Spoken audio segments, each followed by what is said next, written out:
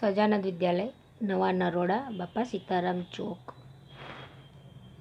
Ahmedabad online અભ્યાસક્રમ શ્રેણીમાં વિદ્યાર્થી મિત્રો, આપનું સ્વાગત છે. ધોરણ બાર કોમર્સ, વિષય ગુજરાતી. વિષયાંક, પાઠ ચાર, સત્યાગ્રહ આશ્રમ. તાસ પ્રથમ. વિદ્યાર્થી મિત્રો, આપણે પાઠ સત્યાગ્રહ આશ્રમ જે છે, તેમના વિશે અભ્યાસ કરીશું, જેના લેખિત વિનોબા ભાવે છે, જેમણે અહિંસાની ખોજમાંથી લખ્યું છે, જેમાં તેમણે પોતાના જીવન પ્રસંગો વિશે કહ્યું છે. વિદ્યાર્થી મિત્રો, આપણે જોઈએ આગળ. વિનોબા ભાવે છે, તેમનો જન્મ અગિયાર નવ અઢારસો ને પંચાણુંમાં થયો હતો, જ્યારે તેમનું અવસાન છે તે પંદર અગિયાર ઓગણીસો બ્યાસીમાં થયું. વિનોબા ભાવેનું મૂળ નામ વિનાયકરાવ નરહરી ભાવે હતું. તેમનો જન્મ મહારાષ્ટ્રના રાયગઢ જિલ્લાના ગાગોદા ગામમાં થયો હતો. તેમના પિતાને વડોદરામાં નોકરી હોવાથી જીવનના આરંભના વર્ષો ગુજરાતમાં વિતાવ્યા. આરંભના એટલે પોતાની બાળપણના વાત કરે છે. બાળપણ જ્યારે હતું ત્યારે એ વડોદરામાં રહેતા હતા એવું.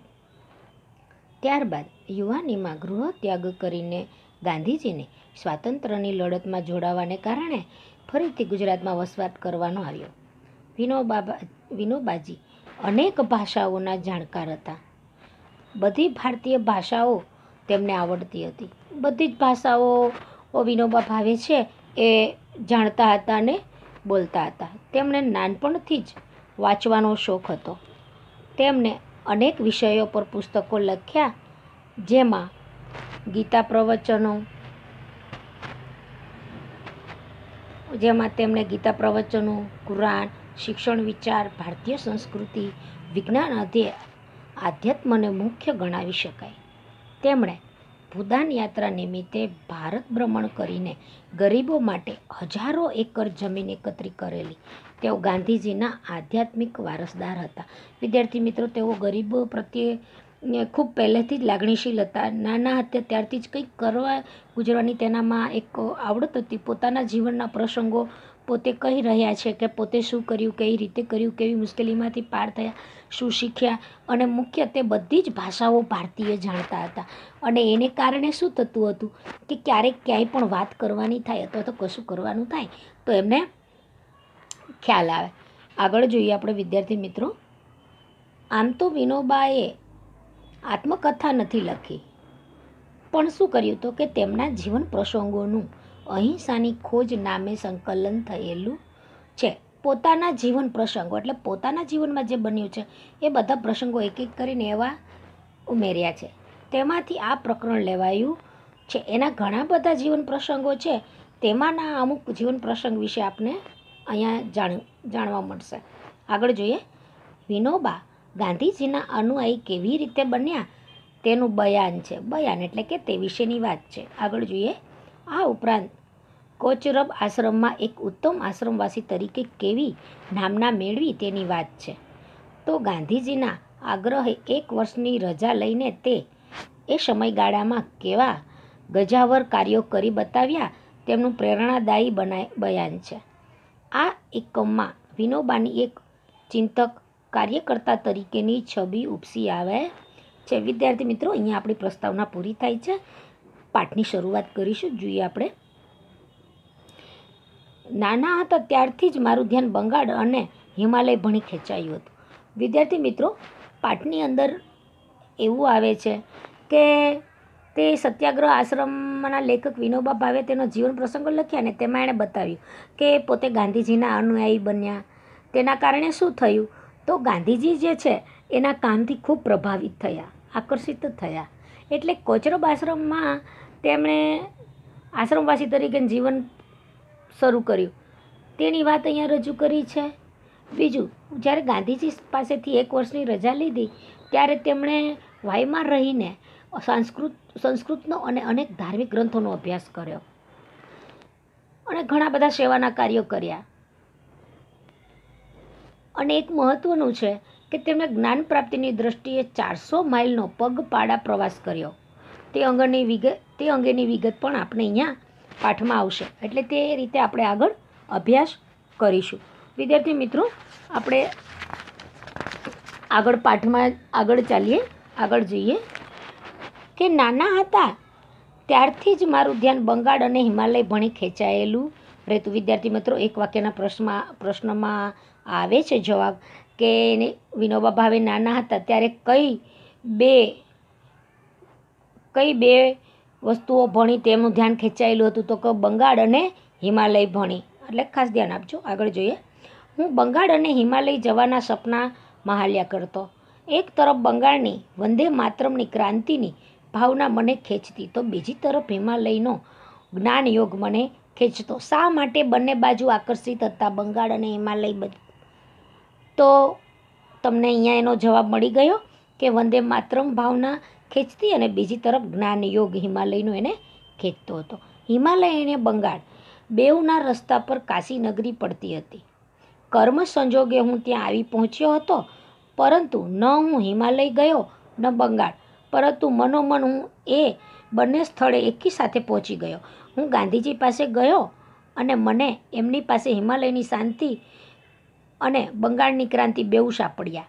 ત્યાં હું જે પામ્યો, તેમાં ક્રાંતિ અને શાંતિ બંનેનો અપૂર્વ સંગમ હતો. તે પોતાના જીવનનું કહે છે કે મને આ બે તરફ આકર્ષણ હતું. કયા બે તરફ? તો કે બંગાળ અને હિમાલય તરફ. પણ એ તરફ જવું તો હતું, વિદ્યાર્થી મિત્રો. પણ એ બંને તરફ નહીં ગયા, પણ વચ્ચે કાશી રસ્તો જતો હતો. ગાંધીજી સાથે સંપર્ક થયો. એટલે એને આ બંને વસ્તુઓ એમ કે અહીંયા જ સાપડી, સાપડવું એટલે કે પડવું, પ્રાપ્ત થયું. એવું એને લાગ્યું. એટલે તે એની સાથે ત્યાં રહ્યા. આગળ જોઈએ આપણે. જ્યારે હું કાશી આવ્યો, ત્યારે ત્યાં બાપુના એક ભાષણની ગરમાગરમ ચર્ચા ચાલતી હતી. તેઓ કાશી જ્યારે ગયા વચ્ચેના રસ્તાએ.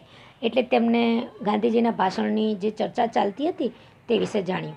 ત્યાંના હિન્દુ વિશ્વવિદ્યાલયમાં બાપુનું આ ભાષણ થયું હતું. તે ભાષણમાં એમણે અહિંસા અંગે ઘણી વાતો સમજાવી હતી. મુખ્ય વાત આ હતી કે નિર્ભયતા વગર અહિંસા ચાલી જ ન શકે. નિર્ભય એટલે ડર્યા વગર. પરમ શૈવ્ય અહિંસા છે અને એ નિર્ભરતા વગર આવી ન શકે. એ ભાષણમાં એમણે વિવિધ આભૂષણોથી સજી ધજીને આવેલા મહારાજાઓને પણ સારી પેઠે જુડી કાઢ્યા. જુડી કાઢવા વિદ્યાર્થી મિત્રો, એક મુહાવરો છે જુડી કાઢવું, એટલે સખત ઠપકો આપવો.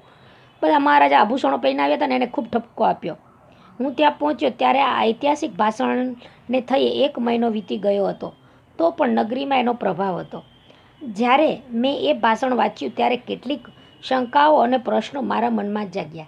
એટલે આ બધા પ્રશ્નો સામે ધરતો એક પત્ર મેં બાપુના નામે લખ્યો. એમણે એ પત્રનો મને ખૂબ જ સરસ જવાબ આપ્યો. જ્યારે કાશીનગરી એ ગયા અને બાપુના ભાષણ વિશેની વાત જાણી, રાજાઓને ખૂબ ડા ખીચાયા આભૂષણો સજી ધજીને આવ્યા એના કારણે. આ બધું જ તેમણે જોયું અને ઘણા બધા સવાલ એના મનમાં થયા. કોના મનમાં? વિનોબા ભાવેના મનમાં. એટલે એણે પ્રશ્ન પત્ર લખ્યો બાપુને અને બાપુએ તેને સરસ જવાબ આપ્યો. શું આપ્યો? આગળ જોઈએ. આગળ કહે કે દસ પંદર દિવસ પછી ફરી મેં એમને શંકાઓ પૂછી ત્યારે એમનું એક પત્તું આવ્યું. પત્તું એટલે પત્ર, વિદ્યાર્થી મિત્રો, ધ્યાન આપજો. કે અહિંસા અંગે જે પ્રશ્ન છે, તેનું સમાધાન પત્ર વહેરવાથી ન થઈ શકે. એટલે કે પત્ર વ્યવહાર એટલે પત્રથી લખી કરીને ના થઈ શકે એ શંકાઓ, પ્રશ્ન જે છે એનું સમાધાન. તો શું કરવાનું? તો કે એ માટે તો જીવન સાથેનો સ્પર્શ જ જોઈએ. એટલે એ પોતે જાતે અનુભવવો પડે. કાર્ય કરવું પડે. થોડાક દિવસ મારી પાસે આશ્રમમાં આવો અને રહો, તો ધીરે ધીરે વાતચીત ચાલતી રહેશે. એમનો આ જવાબ કે સમાધાન વાતોથી નહીં, જીવનથી જ થશે એ મને સ્પર્શી ગયો. એ જવાબની સાથે બાપુએ આશ્રમની એ નિયમ પત્રિકા પણ મોકલેલી, જે મારા માટે ઓર આકર્ષક હતી. વિદ્યાર્થી મિત્રો, એ વાત પરથી વિનોબાભાઈએ ભાવેએ પત્ર લખ્યો. જ્યારે એને પત્ર મળ્યો તો ત્યાં સુધીમાં તો આપલેનો જવાબ થઈ, પણ ગાંધીજીએ પત્રમાં સામો શું જવાબ મળ્યો કે પત્રના વ્યવહાર દ્વારા આપણી આ તમારી તમારા પ્રશ્નોના શંકાનું સમાધાન ના થઈ શકે. તો એના માટે શું કરવું? તો કે એના માટે તમારે અહીંયા આવવું પડે. આશ્રમમાં મારી સાથે દસ પંદર દિવસ રહો. વાતચીત સાથે તમારા પ્રશ્નો, તમારી જે પ્રશ્નના શંકા છે છે, એ બધી જ શંકાઓના સમાધાન થઈ જાય. એટલે વિનોબા ભાવે છે, એના પત્રમાં શું થયું? તો કે ત્યાં સુધીમાં કોઈ પણ સંસ્થાની આવી પત્રિકા મારા વાંચવામાં ક્યારેય આવી ન હતી. આવી રીતે ઘણા પત્રોનો વ્યવહાર થયો હતો પણ આવી રીતે કોઈ પણ પત્ર વિનોબા ભાવે અત્યાર સુધીમાં મળ્યો ન હતો. એમાં લખ્યું હતું કે આ આશ્રમનું ધ્યેય વિશ્વહિત અવિરોધી દેશ સેવા છે અને એના માટે અમે નીચે લખેલા વ્રતો જરૂર માનીએ છીએ. નીચે સત્ય, અહિંસા, બ્રહ્મચર્ય, અસ્તેય, અપરિગ્રહ, શરીર, શ્રમ વગેરે એકાદ એકાદશ વ્રતોના નામ લખ્યા હતા. મને આ ભારે નવાઈજનક લાગ્યું. મેં તો ઇતિહાસના ઘણા થોથા વાંચી કાઢેલા. થોથા એટલે ચોપડીઓ ઘણી બધી વાંચેલી. પરંતુ દેશના ઉદ્ધાર માટેનું વ્રતનું પાલન જરૂરી મનાયું હોય એવું ક્યાંય ન ભાળ્યું આ બધી વાતો તો યોગશાસ્ત્રમાં, ધર્મગ્રંથમાં ભક્તિ માર્ગમાં આવે. પરંતુ દેશ સેવા માટે પણ આવશ્યક હોય છે તે આ પત્રિકામાં હતી. એટલે મારું મન તે તરફ ખેંચાયું. આ માણસ દેશની રાજનૈતિક સ્વતંત્રતા અને આધ્યાત્મિક વિકાસ બંને સાથોસાથ સાધવા માગે છે એવું મને લાગ્યું. મને આવું જ જોઈતું હતું. બાપીએ લખેલું, તું અહીં ચાલ્યો આવ અને હું બાપુની પાસે પહોંચી ગયો. વિદ્યાર્થી મિત્રો, જ્યારે બાપુએ તેને પત્ર લખ્યો, એટલે એણે એ ખ્યાલ આવ્યો કે પહેલી વખત આવું થયું. ઘણા બધા થોથાઓ એવા વાંચી કાઢ્યા છે, ઇતિહાસના એવા પન્નાઓ વાંચી કાઢ્યા છે. પણ ક્યાંય મને આવું ઉદ્વાર વ્રતનું પાલન થાય અને એવું જરૂરી જ થવું જોઈએ, આવું અત્યાર સુધી ક્યાંય થયું ન હતું. પણ ગાંધીજીના આ પત્રથી એને આધ્યાત્મિક વિકાસ બંને સાથોસાથ સાધવા મળ્યા એવું એમને મનને લાગ્યું. એટલે એણે શું થયું? બાપુ તરફ આકર્ષણ થયું અને બાપુએ એને લખ્યું કે તું અહીંયા ચાલ્યો આવ. અને તે બાપુ પાસે પહોંચી પણ ગયા. વિનોબા ભાવે જે છે એ ત્યાં પહોંચી ગયા. વિદ્યાર્થી મિત્રો, આપણે અહીંયા આપણો તાસ પહેલો પૂર્ણ કરીશું. ફરીથી તાસ બેથી આપણે આવતા પિરિયડમાં તેમની શરૂઆત કરીશું. જય શ્રી કૃષ્ણ.